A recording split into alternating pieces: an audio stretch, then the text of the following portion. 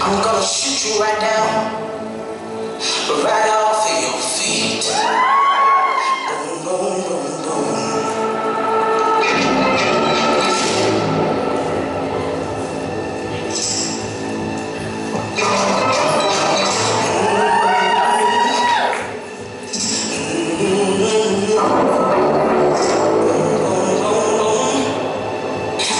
Right now.